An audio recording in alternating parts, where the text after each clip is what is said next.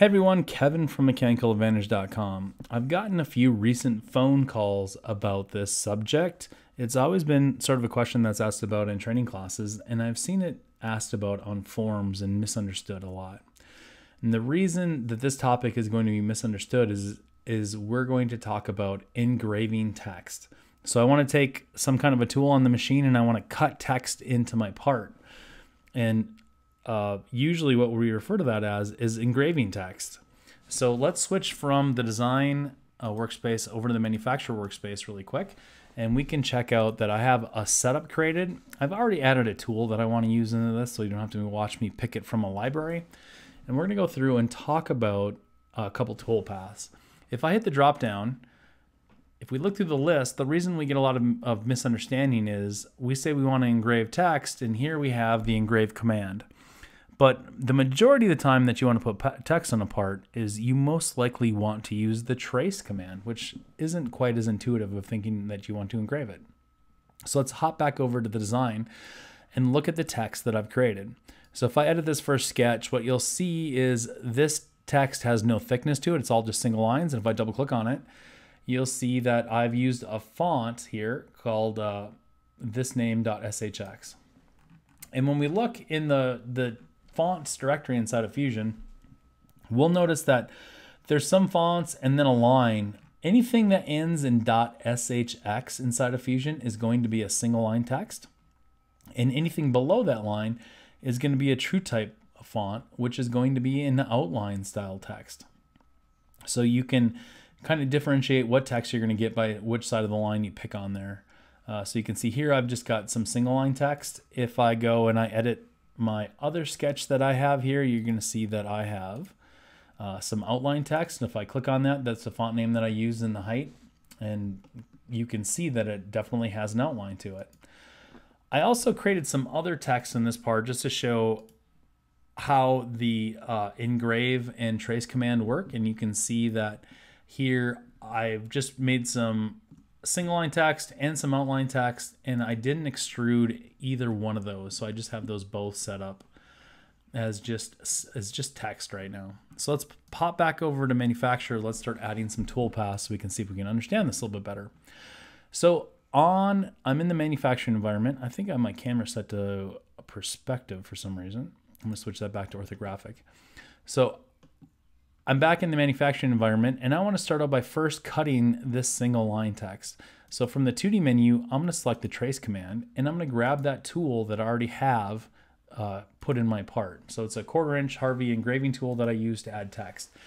If you watched the video that I did in the Speedvice handle, this is the tool I use to cut the SILE logo in there. So I have my tool selected. Now I'm going to move on to my curve selections and I'm just going to click on that piece of text right there and click and you're going to see all the edges of it turn blue. I don't need to worry about the heights tab here. I'm going to jump right over to the passes tab. So this toolpath is meant to have the tip of the tool trace the whatever entity that's selected.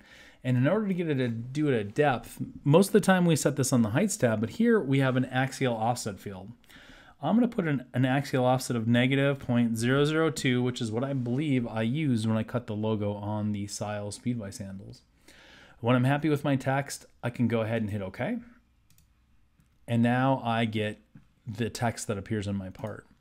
If I shut my models off and I click on my toolpath, you see that I just get a single line. And if I turn my models back on, you'll see that that text that those lines are just slightly below the surface, so it makes it kind of hard to see what's going on because the, the tip of the tool is below the surface of the part. But that is a lot of times what you want to use to put part numbers or things like that on a part. Now, I also have this slot that I cut, and I wanted to show that I could also trace that, even though it's a 3D, uh, you know, sort of solid geometry. I'll use the same tool. This time I could just go grab that edge. I could go to my passes tab and I could do an axial offset again of negative 0.002 and I'll hit OK. And now I have a tool path. So if I were to turn off my models one more time and turn on the simulate, turn my stock on um, and hit play, you'll see that I'm getting sort of a gouge line around there because uh, I'm technically cutting into my part. And if I turn the accuracy up, I guess we can see the red line. You can see that I'm getting that outline there, even though it shows that it would be full of stock right now. So I'll close this up. And that is the trace command to start out with. So how does the engrave command differ? From the 2D menu, I'm going to select engrave and I'm going to use the same tool.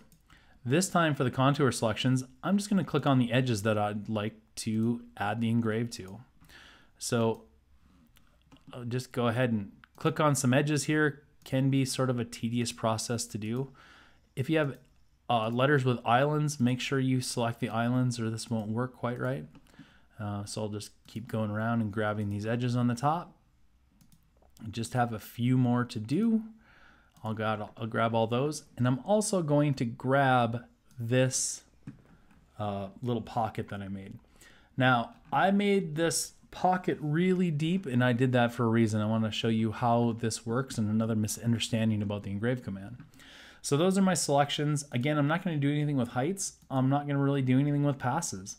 I'm just going to go over to the linking tab. I don't even have to do anything with linking. So um, when I'm done with that, I'm just going to go ahead and hit OK. And then I'll get my toolpath. Now, it did give me a warning that maybe it couldn't get in everywhere. Uh, no passes to link somewhere, or maybe there's a tight corner.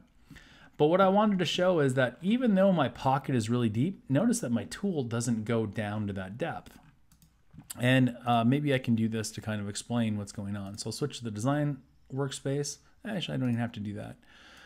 I will just uh, create a section view. So I'm going to say manage, uh, inspect, sorry, and then I'm going to say section analysis, and we'll just kind of drag a spot into the pocket, and I'll hit OK. Now, if I click on that engraved toolpath again and I simulate it, with all toolpaths in the stock off, if I put my mouse right about there and I backspace this off a little bit, what you'll see is with the engraved toolpath, the tool goes down as deep as it needs to so that the sides of the tool touch the profile that you're trying to cut. So that's why you don't have to set any tool height on there.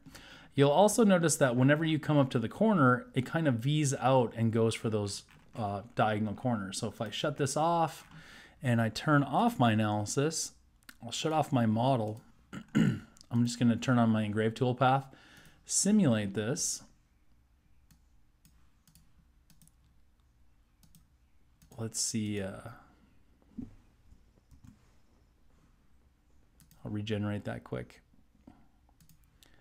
We'll click on this and we'll simulate it. There we go. And then I'm going to turn on my stock. My model is off. Actually, my model is still on, so let me turn that off. Now when I hit play, what we'll see in the corners is it cuts the, the trace on the bottom and then it pulls the tools up to the corner to give you more of a decorative look to the text that you're going to get. So you get this kind of sharp V bottom and then it goes sharp to the corners. So people get weird results with this because they think they want to engrave their text because that's what they're trying to do, but they really want to trace it. You also notice that I didn't have to set the depth on this. Another thing that I common error I see people do is on the heights tab, they try to go to the bottom height and they try to put some negative number here to set the depth that they want to go to. And really all you have to do is just select the geometry and select the tool and it will do the rest. Fusion will do the rest calculated in toolpath. So here, again, you can see that I have some regular uh, stick text. I'll probably just skip that now. You guys know how that works from this example. But I'm gonna do the 2D and engrave one more time. And now this time I'm gonna go uh, same tool for the geometry. I'm gonna click on this text. Notice that I haven't even engraved this. I haven't even cut it in the Fusion side, it's just a flat 2D sketch. And I'll hit OK. And I get my tool path. And if I turn off my models again, you'll see that it does the same thing. It, it's able to find the edges of the sketch and it brings the sides of the tool down, the, the chamfer part of the tool down and touch it, until it touches each side of that profile and sets the depth automatically. So most of the time, people think they want to use engrave and they might think they want to use engrave and they get frustrated because they can't get rid of the result that they want. Usually what they really want is the trace command. If you want to try to do something more decorative or fancy, uh, some people may refer to this as V carving, then engrave is the tool path that you want to use for that.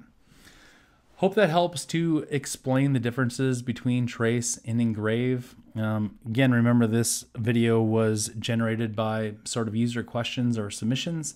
And if you have anything that you'd like me to cover on the channel, make sure you send me an email to kevin at mechanicaladvantage.com and I'll see if I can work your idea in. So, hope you guys enjoyed this one. And as always, thanks for watching.